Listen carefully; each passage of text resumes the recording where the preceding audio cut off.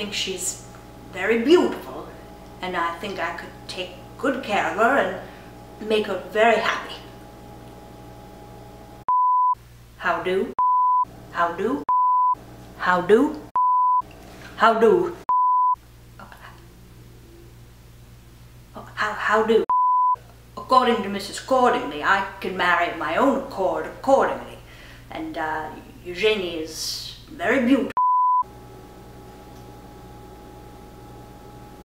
Now girls, how would you feel if your dad got married again?